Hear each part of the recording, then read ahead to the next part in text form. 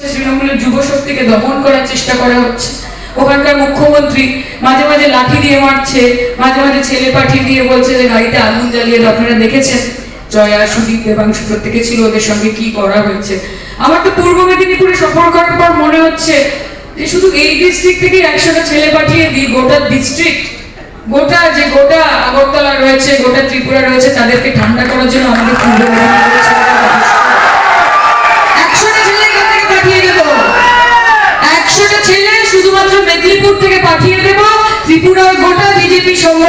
কীভাবে ধূলিসাৎ করতে হয় আমাদের একশোটা ছেলে শিখিয়ে দেবে আর কাউকে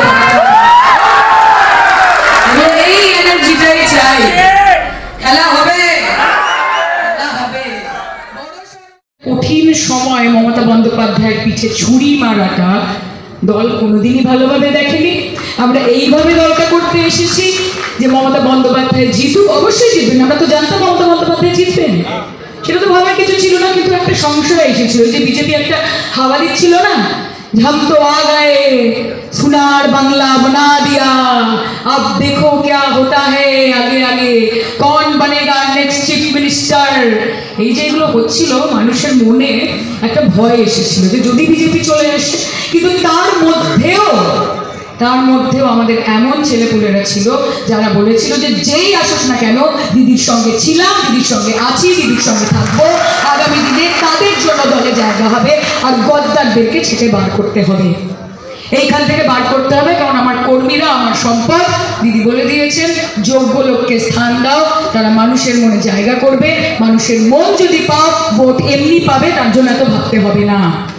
বুথ লেভেলে যদি এমন কোনো মানুষ থাকে যে নানান রকম চিটিংবাজি, ধাপ্পাবাজি করে মানুষের কাছে সেই পরিষেবা পৌঁছতে দেয় না। তাহলে সেরকম লোকের আমাদের দরকার নেই। আমার কোনো যুবর যদি নাম আসে সেখানে, যে দিদি দিচ্ছে ঢেলে ঢেলে, আর গোডাউনে তুমি রাখছো ফেলে, সেগুলো কিন্তু আর এখানে হবে না। আমার কোনো যুবর যদি নাম সেখানে আসে, মানুষের কাছ থেকে কমপ্লেন আসে, তাকে শোকজ করা হবে, দরকার পড়লে তাকে বহিষ্কার করা হবে এবং তাও যদি তাকে রাখতে হয়, তাহলে তাকে আর নেতার জায়গা দেওয়া হবে না। তাকে কর্মী হিসেবে থাকতে হবে দলে ন্যূনতম কাজ করতে হবে। দেখুন, আপনারা প্রত্যেকে সিনিয়র আমাদের। সারাক্ষণ যে বলা হয় না যে মাদারের সঙ্গে যুগর কোনো রকম মিল এটা খুব ভুল কথা।